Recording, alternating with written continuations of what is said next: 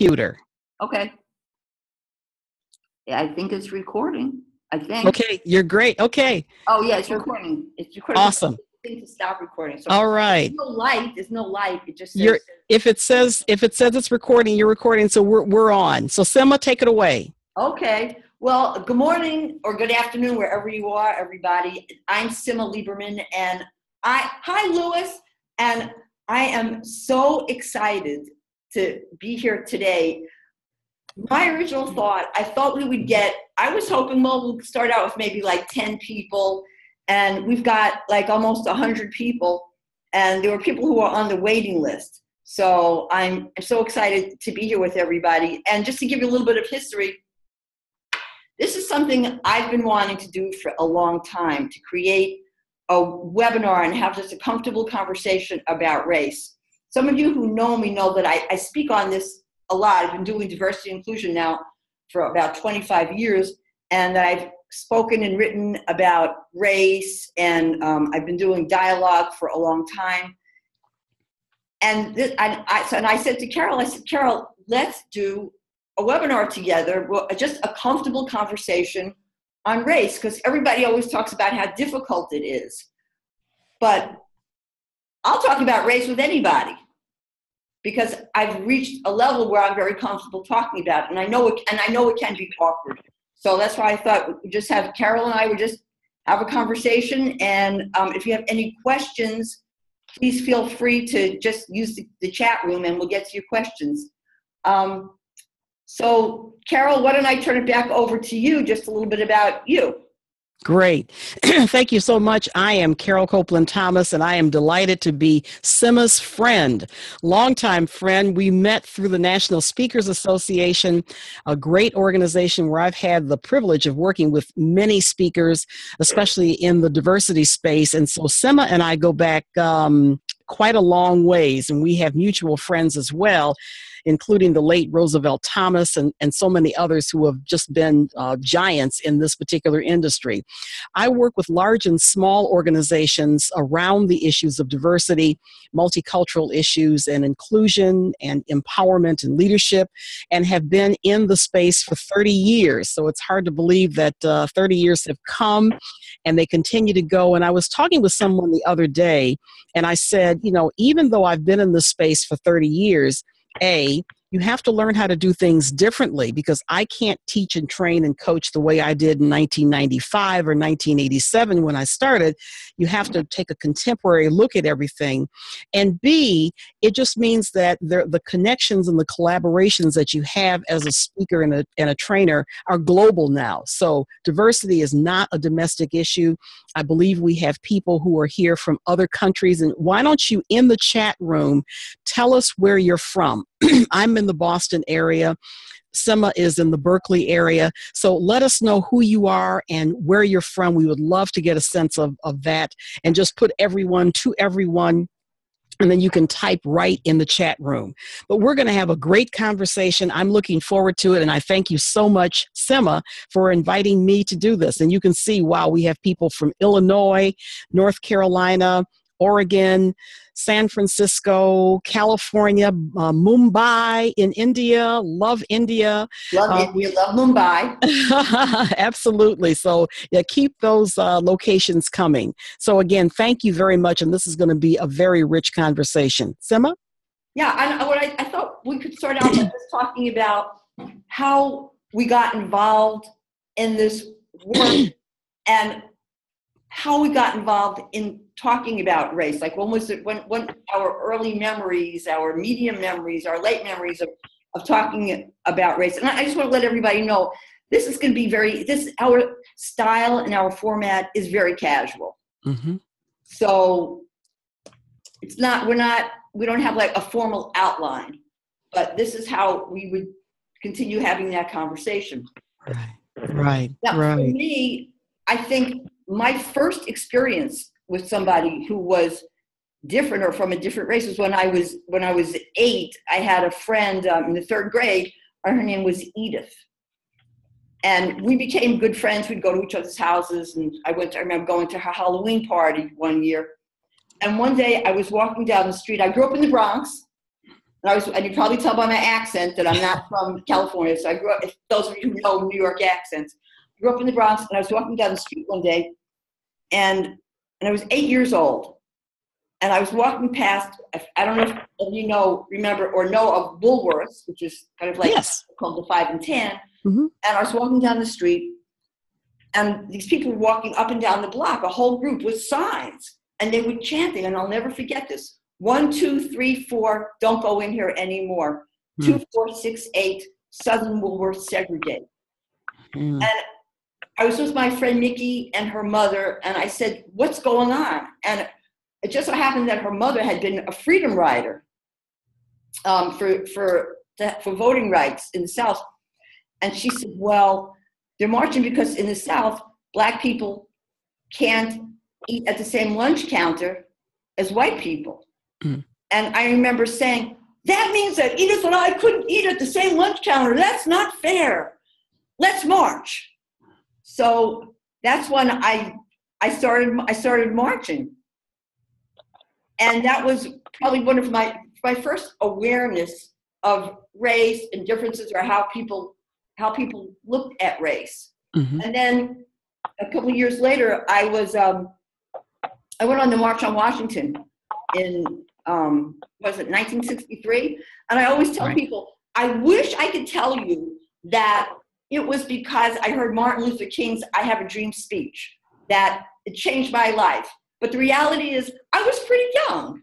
So I don't even think I would have really quite probably understood his speech.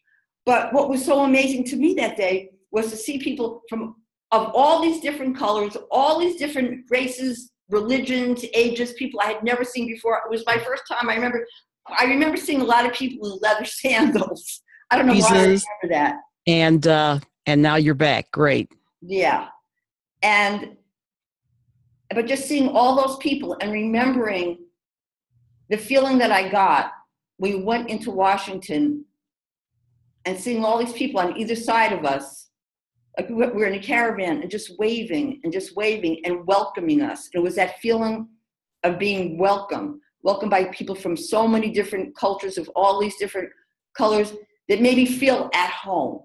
Mm-hmm. And mm-hmm. that's when I that's when I started. That's when I really got more involved in the civil rights movement. Now, that doesn't mean that I was really comfortable talking about race.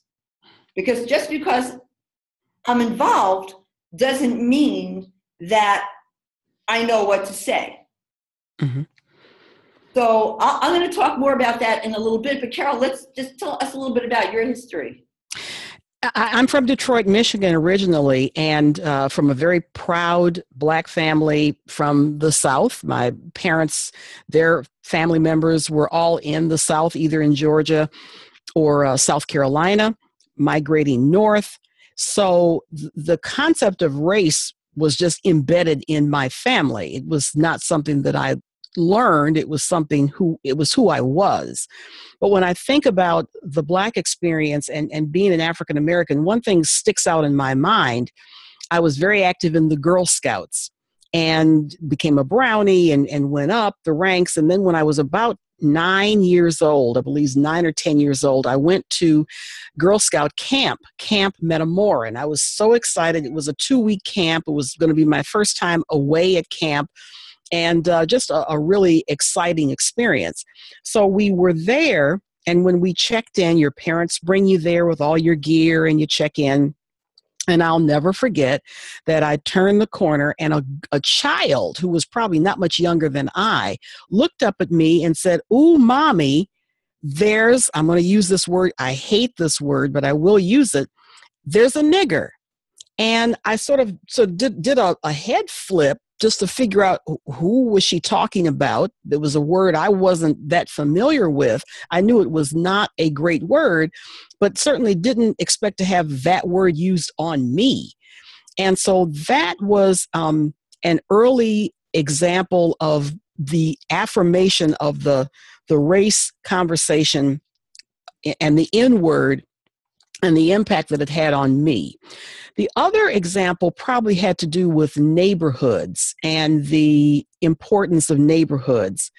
My mother's people were all from Columbus, Georgia, and other parts of Georgia. They were educated. I'm very, very lucky and, and fortunate that I am the third generation to graduate from college.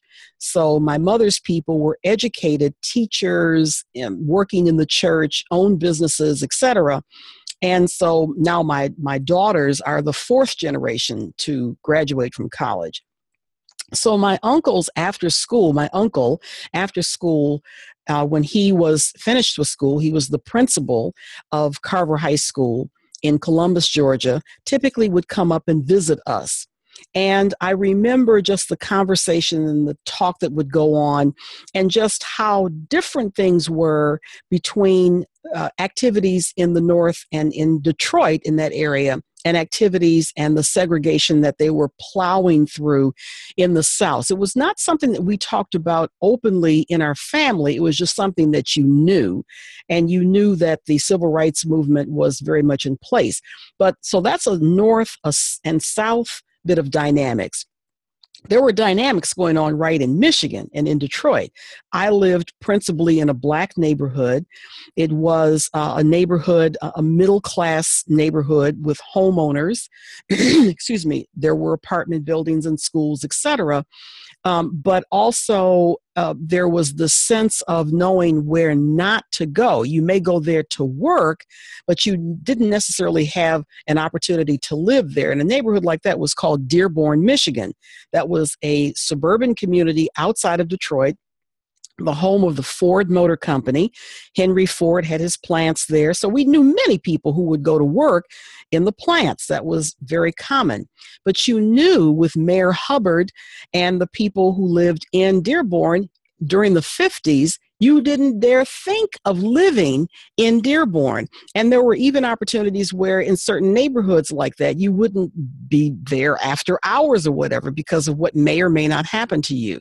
So, segregation was something that was part of who we were and it impacted us directly. So it was not something that you read about so much, it was just the, the kind of living that you had. But segregation also provided more opportunities for entrepreneurship and economic development to really benefit your neighborhood. so, my doctor was black. Stores we went to, many of them were owned by blacks. Beauty shops, obviously, barbershops were black, church black.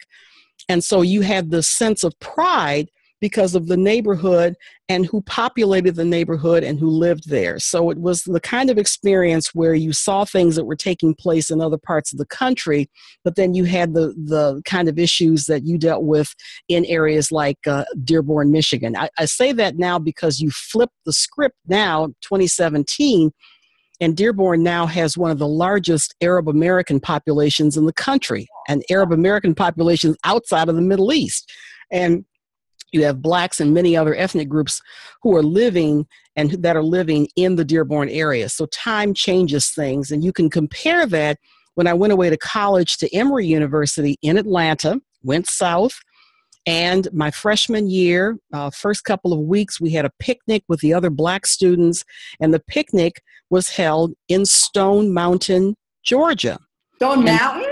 Stone Mountain, Georgia. Oh, wow. And uh, Simma knows where I'm going with this. okay, I didn't that for a while. But, but, but Stone Mountain back in the 70s was very active for Klan activities.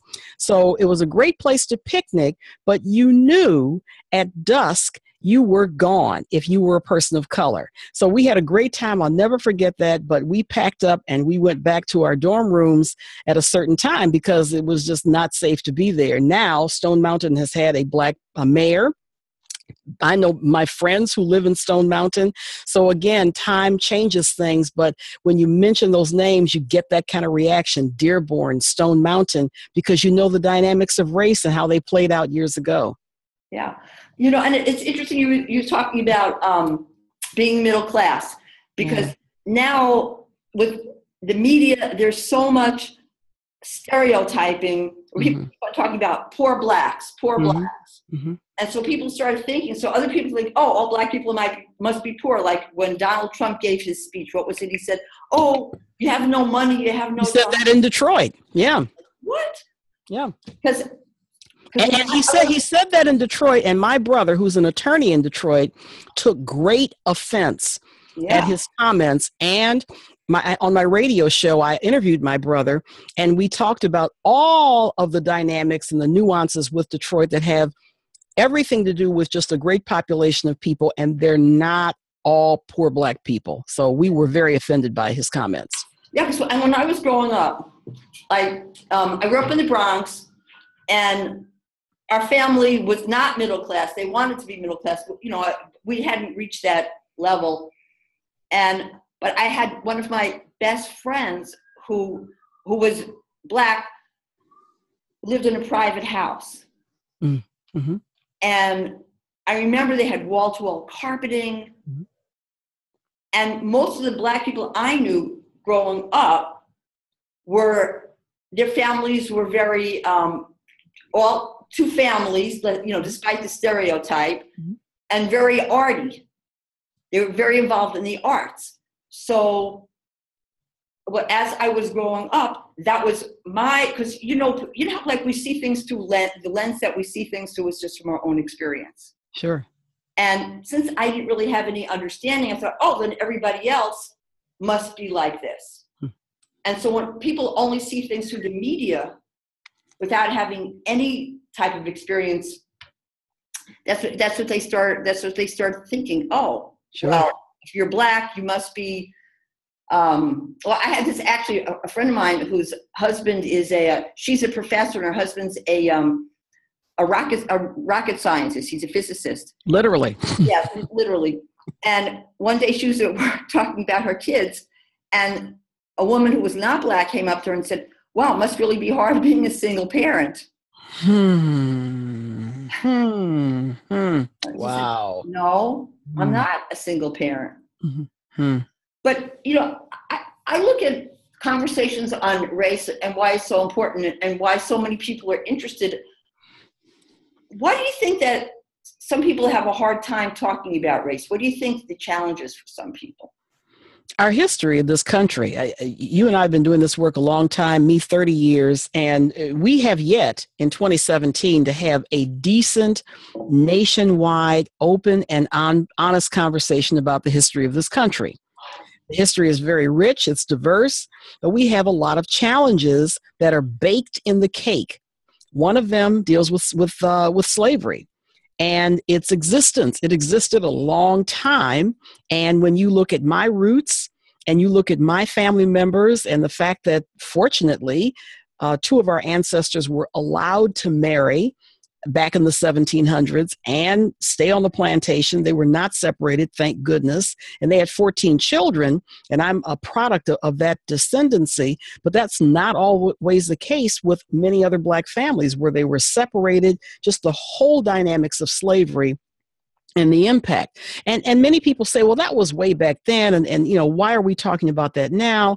I'm a true believer that those who who fail to learn the list lessons of history that was said by george santayana are are doomed to repeat them. So it's not it's not living in the past but it's it's a sense of acknowledging the past and acknowledging where we have come from acknowledging the fact that this whole conversation some about race in many ways comes from from uh, Thomas Jefferson who was one of the orchestrators of the of the concept of one drop where if you had one drop of black blood then that constituted you as a black person in this country. Or if you were uh, a slave and if one parent was free and the other parent was not, if the mother was a slave, then you remained in bondage.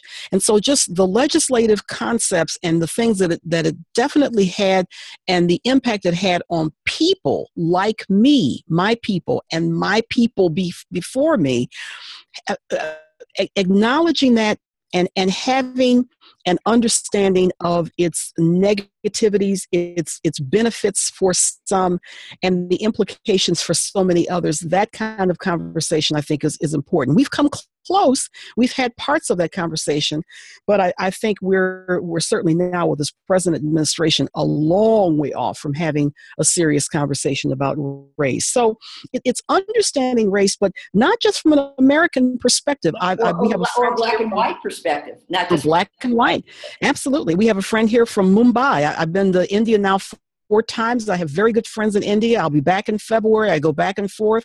India has a, a, a color issue. They have an issue in terms of light skin and dark skin. They won't necessarily talk about it here in the United States, but going over there, I know the dynamics of not only the caste system, but the color system, the, the racial composition of someone's pigment. It's not just India, it's in parts of Asia, it's definitely in Africa, where I've also been. So, it, eh, this whole concept of race and skin color is fascinating and one that we need to explore a lot more in depth to understand its origins, but how we can get to the point where we can have these kind of conversations going forward where can make sense and we can uh, move beyond that, uh, that, that concept. Yeah you know, and oh, somebody, and then uh, just said, yup, um, the obsession with fairness. Did you? I couldn't see the whole thing. Mm-hmm but across the Indian subcontinent. Yeah. continent. Yeah, I mean yeah. they deal with there's the, the the skin bleaching industry huge there. Oh, Fair and Lovely. I saw I don't know how many Fair and Lovely um, ads uh, on billboards. So and again, I love India, and I normally I have an Indian outfit on. I don't today, but I love India. But those dynamics obviously are in play. Oh yeah, abs- absolutely. In fact. I was on a website yesterday called Soul Tree because when I was in India, I bought some great products. And um, it was uh, frequently asked questions, and somebody said, "It's a skin care." They said, "How come you don't have any skin bleaching cream?" Mm-hmm. And they said, "We don't believe in it." Mm-hmm. And then they and I thought it was really well done the way that they said it to make the point to people. No, you know, you don't need to bleach your skin. Why do you want to bleach your skin? And another thing, I think one of the reasons too that I wanted to have this conversation is because I've been doing one-on-one video interviews with people on race, people from all different cultures, all different backgrounds. And when I ask people what stops them from having the conversation, because so many people say they want to have the conversation, people are people say people say because I want to have the conversation, but I don't know how. Mm-hmm. One woman, one young, young, one young woman said, "I'd like to have the conversation, but I don't know how because it's really awkward." She's a young Asian woman, and she's people of, to know. Keep keep. I I start talking when you freeze. So go on, Simma. Okay, keep. I want, I want, okay, so everybody, she's not interrupting me, but sometimes I freeze. So if I freeze, then Carole's just going to keep on talking. Right. So she said, I don't really know any any black people. Mm-hmm. She's against racism of all kinds, but she doesn't really know any black people. And so she feels really awkward. And I've talked to other people uh, I talked to white people who said, well, that they didn't want to say the wrong thing mm-hmm. because they didn't want to offend anybody. Right, right. And they didn't want to make and they didn't want to make people mad. Mm-hmm. And then I've talked to people of color who I who tell me they only talk about it within their own group, and they don't want to hurt anybody's feelings or make mm-hmm. anybody else feel bad. Mm-hmm. So people are worried about hurting each other's feelings but at the same time like especially if we look at it in the workplace why it's so important because i think it's important to talk about the workplace that if we don't have these kinds of conversations then there's tension then there's unspoken tension. Mm-hmm. and when there's unspoken tension then work doesn't get done. People can't collaborate. Mm-hmm. so what do you i mean what's been your experience carole? People uh, uh most americans are good people. I'm, I'm going to use this from a domestic us perspective most Americans are good people. They work hard. They want the best for their families, and they want to treat people right. That's that's the premise. Uh, if you're in Minnesota, they call it Minnesota nice, and and that's that's that's who we are. and we're a litigious community also, so people get sued quite a bit in the United States. And again, as I go back, I have to go back to the days of slavery. That legacy that we have has been such a layering, it has such a layering effect on our on our society that it is equated with white guilt. That I, I'm I'm gonna be sucked into this conversation. I, I don't want to um, um, take ownership of what did or didn't happen, whatever my family did or didn't happen. And so it is easier for me to not say anything or to be polite. And then in my own tribe at home at the dinner table etc then i can have the, the in-depth conversations that we'd like for you to have. You know mellody hobson I, would encourage everyone and i'll put the the information down in the chat room. Mellody hobson has produced a brilliant ted talk and the, the premise of her TED, TED talk deals with being color brave, not being color blind, but being color brave. And I think in our society, in our country, there's a real need and a necessity for us to be color brave, to realize, yeah, we have stuff in the past that we aren't very proud of. But in order for me to really understand what is going on in the mindsets of people who are different than I am, I've got to ask the question. ASK is the ultimate word, the three letter word, not a four letter word, but a three letter word that will help us to begin to open the doors.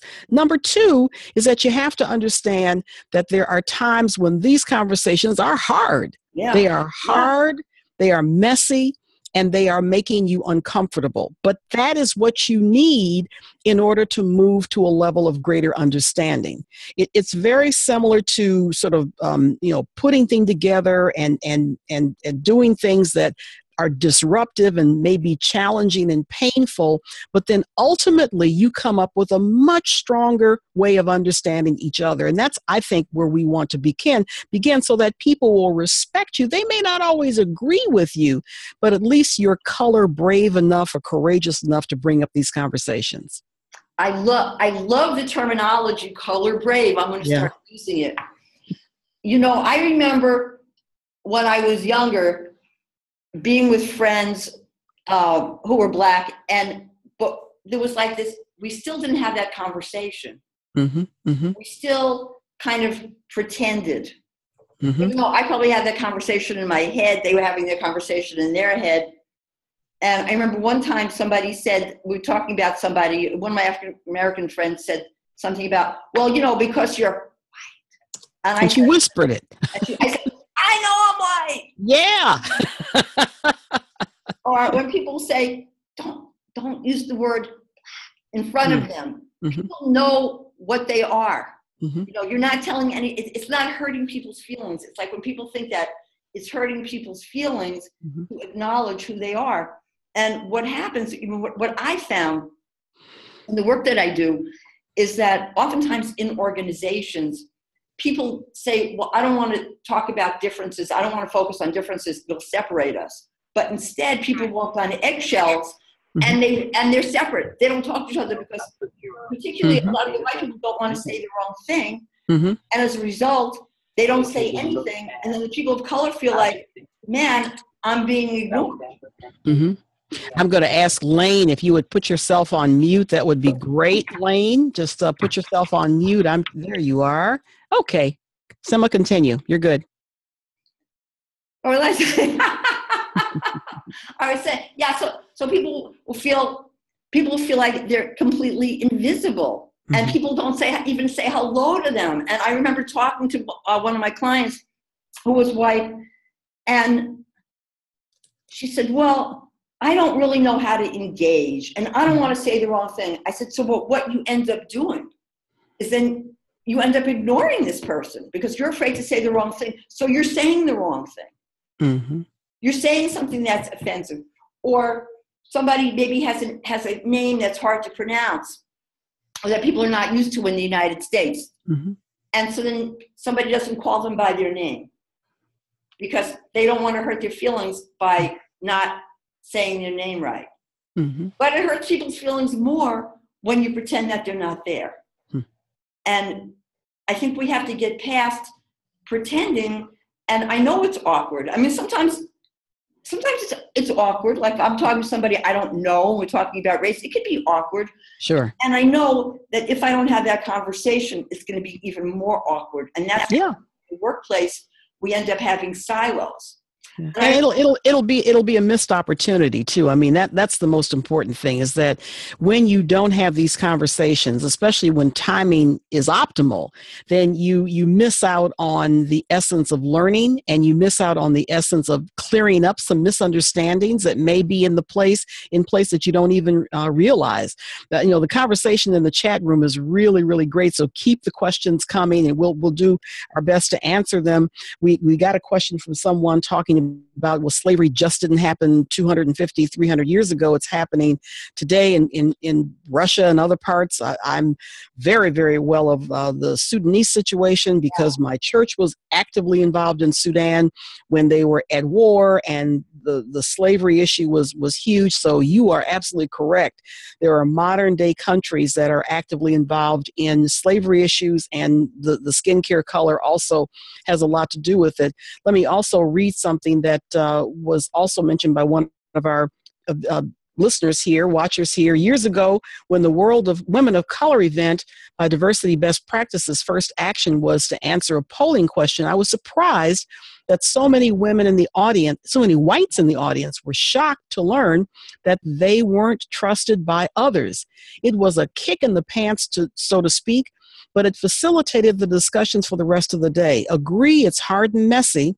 Establishing some level of trust is part of being able to have those essential, messy, hard talks. So, again, it can be a real shocker at first. What, me? Oh, oh. And then you can begin from there. Simma? Yeah, and I'm sure, you know, I'm sure that I was one of those people because I remember thinking that, oh, I'm a good person, I'm against racism, big racism. Mm-hmm. Well, I'm against uh, discrimination, big discrimination, but there are things that I didn't understand. Yeah. And so when people were calling me out on things, I remember feeling like so uncomfortable. One, I wanted to just like kind of, oh, like just crawl away. Mm-hmm. Oh man, damn, why did I even say anything? Why did I even say anything? I should have kept my mouth shut. You know, or not me and getting really defensive and coming up with an excuse instead of saying, you know, maybe I need to just shut up and listen. and that was okay because the other thing that I see sometimes, and uh, oftentimes, let me say, and I say this, and, and, when it comes to race, I see it with white people, but not to pick on white people. If I see it with LGBT, I see it with straight people, I see it with people who are like non in the group, whatever it is, that there's a feeling that the only way to have the conversation is to be guilty. Mm. Mm. And to walk like 10 steps behind. Mm. You know, there was a group we always used to make fun of. Um, it was a, a white group who would go, Yeah, there they go, walking 10 steps behind the black people because they're not worthy, they're not equal. And uh oh, now I'm. You go, you're, go, keep going. Keep, I filled in the blank for you. I think that that's really important to not feel, to not get into this guilt thing because when you're in a guilt thing, it's really a part of being self obsessed. Hmm. And you can't really be there and support and be equal and friends and peers. Because ultimately, if we want to do something about race, or even in the workplace, people have to be able to relate as peers. Mm-hmm. And if you're walking around feeling guilty or, or I mean, and I know that oftentimes, like, it's shocking when people hear what people of color have been through. Hmm. And sometimes somebody will work with somebody for 15 years and go, Oh, I didn't know that. But I think that's the issue. The issue is if you talk to somebody mm-hmm. on a regular basis, mm-hmm. you know it. Right. Right. And and so you brought up another point is that here you talk about people who have worked together for years and years and years and they know the representation of that person. They don't really know that much about that person. So it's not true that even though you work together, um, you'll be able to find out as much as you can about that particular individual. That's not always the case. Another thing, Sim and I, Sim and I probably know this too, is that just because you're young, just because you're younger that yeah. automatically makes you an enlightened person. That is absolutely not true. We, we look at the craziness that's going on in the world, all these terrorist acts, the things that are happening here in the United States, the, the poor activity that took place in Portland, uh, Oregon, just like, what, two weeks ago? I mean, those were young people. Those were not people in their 60s and that's 70s. Right. That's right. Those were young people committing those heinous crimes. So there, you don't have an inoculation just because you're a young person. If you grow up in an environment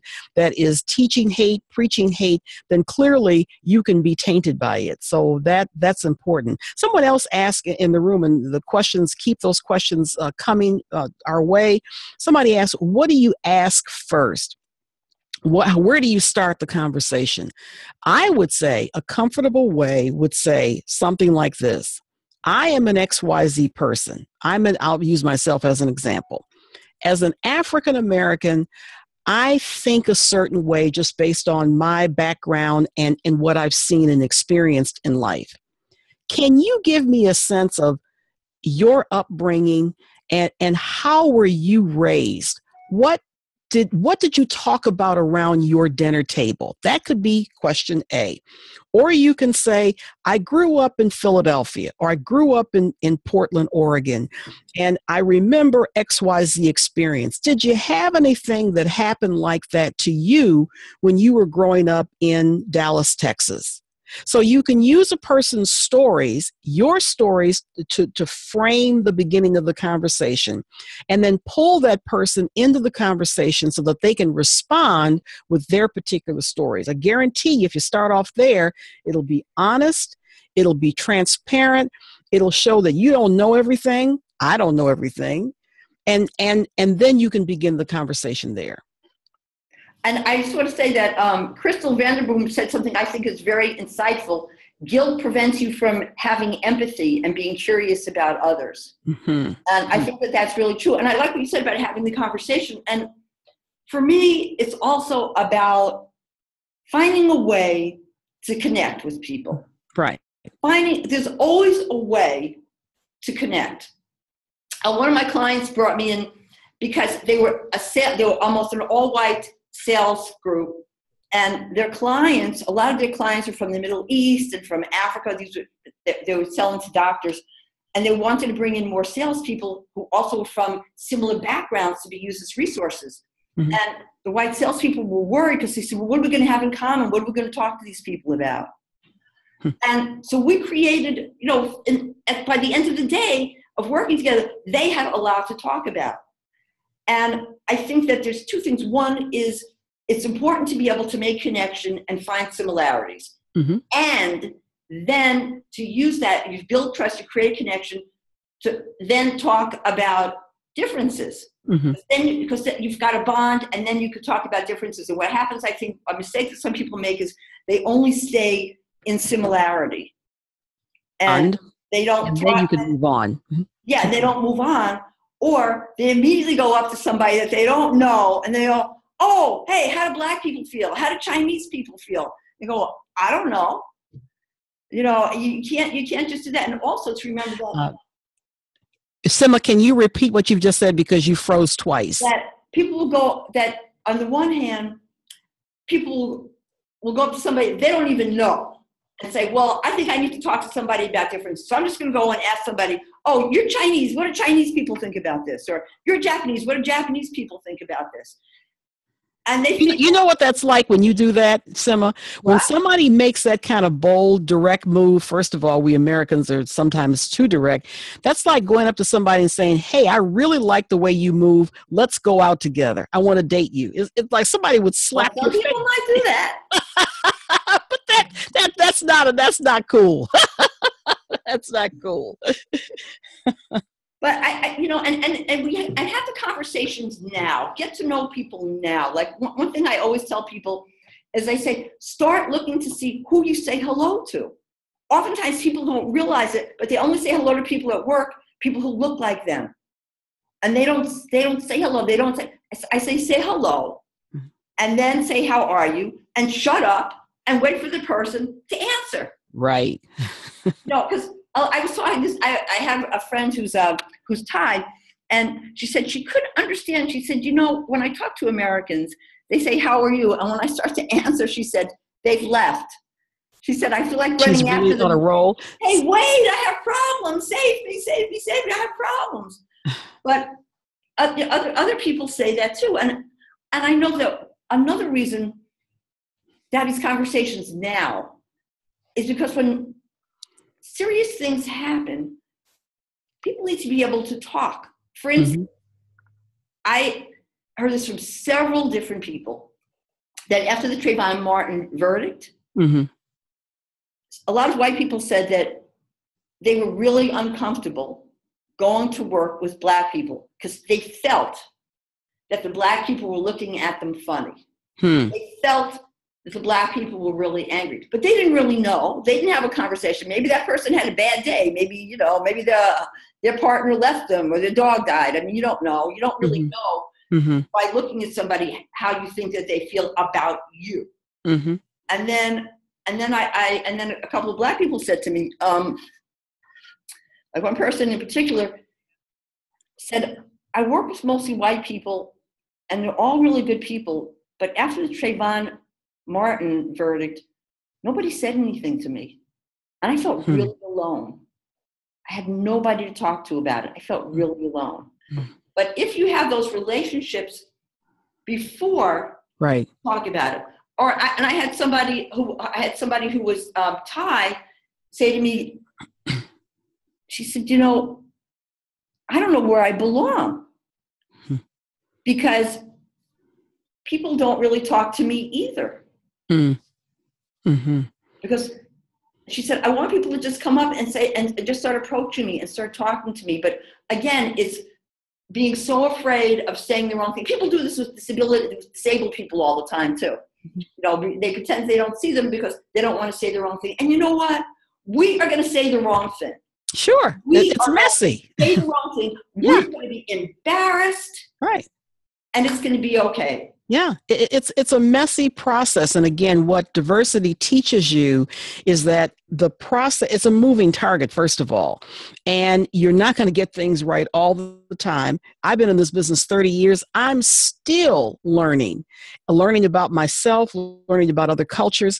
But if you decide to be brave and to be courageous and to be principled, then you will know again how to first use yourself as an example use this whole concept of asking, talking about your own stories and how they can relate to other people, it can be a marvelous way to really move forward. I love what you're saying, Sim, in terms of having these conversations before things happen so that you have a basis and a framework. But I, know companies, I know organizations are extremely risk averse, and so they uh, they avoid it like uh, the plague. I'm, a, I'm gonna give an example in a minute of a very color brave uh, organization that I'm working with here on the East Coast.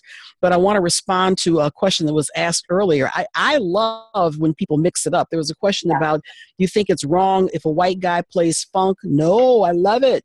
Uh, black woman uh, sings Puccini? Absolutely not. I was a music major in college. I majored in voice, so I know about that. Can a Polish American cook curry? Yes. Can someone in Mumbai, which used to be called Bombay, cook uh, uh, gotapi? And I may be mispronouncing that word. Absolutely. I wear mostly Indian outfits. I wear salwar sets all the time yesterday. yes all i love them just and i get compliments on them and it brings up a way for me to have a conversation about what takes place here in the US and elsewhere. So, we live in a country and in a society where it is perfectly okay to experiment, to adopt the cultures of other, um, uh, of other countries and other traditions, and do it in a very respectful way. I think there's nothing wrong with that at all. I think that's a great way to really uh, to, to, to operate. Simma? Yeah, and I was going to say it, it's really all about having respect Right, to the culture. right. You know, I mean, people talk about, you know, like all these white kids listen to rap. I got to tell you, I do listen to rap myself, and I probably know more about rap than a lot of other people that I know. I'm obsessed with music. I'm obsessed with all kinds of music. I'm really like, I'm obsessed. People who don't know that I am. Um, but the problem is that when somebody appropriates somebody's culture, it's they're doing it in a disrespectful way, or they don't really care where it's coming from. Or they don't understand. They don't have the cultural sensitivity or the awareness level to understand why something should or should not be done. Yeah, and, and, and again, it's, it's how you do it. You know, I remember one of my friends said, Hey, everybody wants to be black today, but did they want to be black during slavery? Hmm. There you go. you know, you and go. so understand too that when you're in a culture to understand the whole story. And you know what? Mm-hmm. It really, if you start understanding the whole story, it really, um, it really, it really enriches you. Yeah, yeah. And you grow, and I, I find, I think with our societies, and again, I'm I'm an American, so I'll speak from my perspective. Americans have to move beyond their comfort zone. Americans, first of all, less than, I thought it was 30%. I've gotten some new numbers. It's still definitely under 50% of Americans have passports. So we by and large don't travel. Yeah. And and if we do travel, we go to safe places where we're used to traveling and that may be on the beach somewhere. And that's the extent of your vacation. So, unless you develop a framework of learning, lifelong learning, traveling is the best way to to travel to, to, to be a lifelong learner. If you don't have that kind of level of awareness, it is very easy for you to shell yourself in, to protect yourself, to be around only your own people, to drive from your office or your home to your office to your favorite store and the grocery store or the liquor store and you come back home and you can never get out of that that mindset and never really grow. Now we have the internet. Right now we have you know 50 60 people online from all over the united states and elsewhere india etc and we can learn from each other. This platform the the internet virtual uh, conversations like this can provide the best opportunity for people to learn with without ever leaving your particular space. But you got to push yourself and do it. You know, there's some people who, I don't know how to use the computer. Well, then learn. Oh, learn. You can be 85 years old and learn, and you can learn about other cultures in other areas. So again, you have to be want you have to want to step out of that comfort zone and learn the best way you possibly can, either physically traveling or learning techno- technologically so that you can broaden your horizon and be of use to someone else who is very connected to you. Yeah, and I want I want to get to I want to get to I want to get to uh, a couple of the questions too. But before mm-hmm. I do that, I want to say that sometimes, no matter who you are, whether you're a straight person trying to talk to an LGBTQ person, a white person talking to a black person, a Latino person talking to to an Asian person, whatever it is, someone somehow at some point you're going to say something and you're going to talk to somebody who's not that enlightened. And mm-hmm. they may start putting you down but you know what? That's just one person. And, and right. i want to say to everybody whatever group you're in i like to say educate don't annihilate when someone makes a mistake. Mm-hmm. don't just go off like oh, oh my god i can't believe that you don't know that. Like you know what? I don't know about you but i didn't grow up in my dinner table. We didn't sit around and talk about these things. Now my son it's a different story because mm-hmm you know, I'm me. And but in my family, we didn't. You know, the, these are all these things. All these things have to be learned. Right. Everything, everything, everything has to be learned. It so don't feel. I mean, you can feel bad if you want. I mean, like I tell people, hey, you can feel bad if you want. You can choose to feel bad, but the reality is that we have to teach each other and we have to learn. And there's going to be people that are not, you know, there's they're not at that level of knowing mm-hmm. how to educate, but we need to be able to do that. Mm-hmm. And so, Carole, here's a question.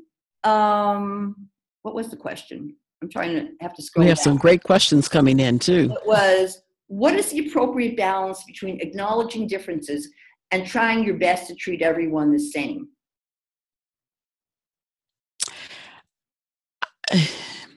trying to treat everyone the same is difficult because because there are 7.3 billion people in the world and we're all different.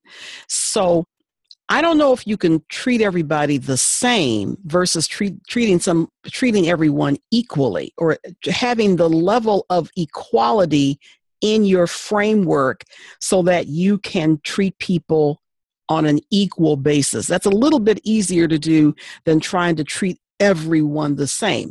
I have a couple of kids, I have grandchildren. I don't treat them all the same. I treat them all equally based on my children, based on my grandchildren. So I think that may be an easier way to look at it. But always remember, as I just said, 7.3 roughly, there are 7.1 billion people on the planet. Everybody is different. Everybody is different, and everybody has choice. They have choices to make.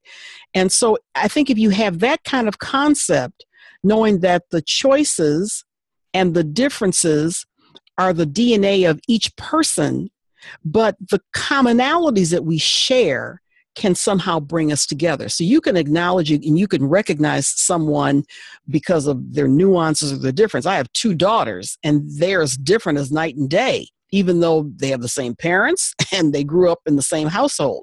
So, you know, you know, you have that, but you know, there's this whole concept of understanding that I need to provide the kind of respect to them as their mother, and now they're adults, so that I can have them on an equal playing field versus treating them the same. Simone? And I and I think that and people always ask that question because Carole and I both, Carole, you and I both facilitate. We're facilitators, and we often facilitate like for employee resource groups. We bring yeah. people together, mm-hmm. and I've been called into different organizations when there's been tension mm-hmm. when people have either been in silos or people have assumptions about each other that are like really wrong based on oh she doesn't like me because i'm white or they're racist and in fact what's happening is that people don't know how to talk to each other so sometimes you have to bring in a facilitator mm-hmm. Because people will either because one of the organizations I, I, I, was working with, and actually it was the thing where people were acknowledging the differences. You had people from you had somebody from a, a Latino culture who's Latino who was the boss of a white person, and the mm-hmm. white person thought that the Latino person didn't like him because he was white. Mm. And the Latino person thought that the white person was being racist. Hmm. And they thought, we have nothing in common. So I did this process where I had people actually tell their stories. I, I had a way of phrasing the question. And it turned out that the Latino man and the white man were mirror images of each other. Wow. Both had grown up, same economic class, huh. both grown up single parents, huh. both had kids when they were really young. I mean, they had so much in common, and it was amazing. Mm. And as a result of that conversation, afterwards, they got together. They were blown away. They got together and they started collaborating and solving some problems because there was an issue that had to be solved in terms of the, the hiring process that they were using. And right. they came up together with a way of solving the process. Uh huh. Huh. My goodness, that's amazing. That that well, again, they had the conversation. That's the key piece. That is the important piece. We we've gotten a, a request to do another session on color and class. Okay. So I've I've agreed for us. We're going to do it. that okay, Simma? Yeah, it's important. We'll, we'll, we'll, we'll send the information out, and because again that's something that we don't discuss that much and we can go more in depth about skin color class right and it, this is definitely a global conversation. So I want my friends from India on that conversation, definitely, because that is so critical when you look at some societies uh, in, in addition to the United States. We have about six minutes left, so please um, put your questions there. I will put this information in here again and I am giving away a free report so to help you to navigate which with what term is it, African American or black. So you can click on the URL and put your email address in there and we will send that. You'll get that report immediately.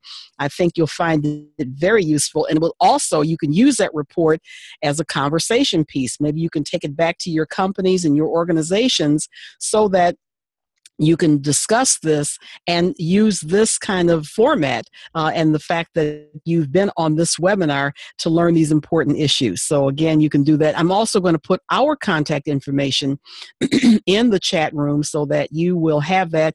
And Simma and, and I are also uh, offering you an opportunity to uh, have us independently or uh, collectively on for a um, 20 minute free consultation you can take the information that is in the chat room, it's there. Contact us. We'd love to have a conversation with you uh, in our various uh, areas of expertise. And I guess one closing question, Simma. Um, we haven't talked that much about East Coast concepts and West Coast concepts. Give us give us a sense of of how this frames itself out from a West Coast perspective, Simma. Okay. Oh, that's that's. Oh, but before we do that, I just want to say too that we have a list of tools that you could use because of the time we didn't get. To, I wanted to review all the tools, and we didn't get to review all the tools. So we have a list of tools that I would love to give it to you. East Coast, West Coast. Let me just say this. Now, this is a stereotype. This is a generalization. okay. Um, I am from New York. I'm still, in some ways, I'm still, I'm. I don't know why my. Um, in some ways, I'm still very New York, but New York people tend to be, tend to be on the East Coast more mm-hmm. direct. They will be more in your face. Okay. On the West Coast is the California way of doing things, where it's people are very nice. Uh-huh. They're all really nice. Uh-huh. I think that that's a difference in perspective. And again, that's a generalization, but it's it's how people are taught to survive. Now, I have found that wherever you are, that in California, people will say, like, I grew up around people from all different cultures and I don't have any issue. Well, as soon as you start thinking of it as an issue, right. Issue, but you could grow up and be in a place that's very diverse, but it doesn't mean that you talk to people. It doesn't mean that you interact with them. Mm-hmm. Or, or, understand it too. Yeah, understand it. Yeah. And, you know, and, and I and I would say that's a little bit of a difference. And one thing I had to learn when I came moved to the West Coast was to slow down. Hmm. hmm. I'm Jewish. I'm from a working class background in the Bronx, and we were, were loud. Yeah. Hustling. and we talked very fast, and we used an overlapping communication style. Which means that, and most American people uh, dominant cultures, you talk, then I talk, then you talk, then I talk. Mm-hmm. that I was raised, and uh, some other cultures too, like um, African American, a lot of people from African American cultures are like this too. In other cultures, we use an overlapping style, which means you talk, then oh man, I could really relate to that. So I got right. interrupted to tell you my story. Right. You hijack the you hijack the conversation. Just like what we do. Uh, but if, and, and, if, and if there's but if there's a pause in the conversation, then I think you're not listening to me. Mm. And in some cultures, like in some Asian cultures, Native American cultures, I talk pause. Pause is where the listening and the respect is shown. But the way I was raised is, you got to interrupt me. Right? what I had to learn when I moved to the West Coast, and also just in general, just because I grew up a certain way doesn't mean that's the best way to relate to everybody. So mm-hmm. I had to learn how to do I talk, then you talk, then mm-hmm. you talk, then you talk. So, and what do you think, Carole? That's East and West. I'm from the Midwest originally. So we do have this level of decorum and niceness that I grew up with. you speak to people that especially if you're in the black community you learn how to speak to people you you nod to people on the street especially if they're black and they're going they're coming in this direction and you're going in that direction there's this whole cultural dynamic where you definitely nod to acknowledge their existence. So we have that. I notice here on the East Coast, there is a formality in place. There is a, a, a, a sort of a, a stiffness oh, in yeah. place that can can happen but again you got to cut through that through that and realize especially here in the in the greater boston area um, you have so many ethnic groups you have Africans who are here in this area. You've got Caribbean black people who are here. You have African Americans. You have people from Brazil. You have people just from all walks of life sort of mixing in this framework. But there is uh, a, a quicker pace than you can see in the South or in the Midwest. And so that that hurried uh, forward motion sort of blends itself in and adds into to how we communicate with each other. But I, I think that um, once you get into a group where you feel comfortable, then the guard comes down, and then you really find out how people really feel, and uh, it's not much different than other parts of the of the country. Yeah, yeah and I just say to that once you get to know people, you become part of a group. Mm-hmm. People think mm-hmm. everybody wants to relate to people who are like them, but when you get to know people, you can look totally different, be from different countries, but then you find out that's a person like me, but you won't know it until you talk to people. Right. So it's 10 o'clock. We will do this again. Yes. So many people have sent, hey, will you do it again? I said, yeah. Like I said earlier, I was hoping to get at least 10 people, and now look at we've got almost 100 people. So thank you all, and please contact us afterwards. We'd love to hear from you. Absolutely. Um, it's it's been a ball. I've enjoyed it, and it looks like probably our next subject will will kick around the uh, the whole discussion about skin color and class. That's going to be electricity on steroids. and if you want to know how to have the conversation, want some more information, contact us. We will send you our list of tools. Absolutely, and right. we're also available. Right. Thank you all so much. Take care. Have a great afternoon, morning, and it's been a great conversation. Simma, you and I will reconnect. Thank you. Bye, guys.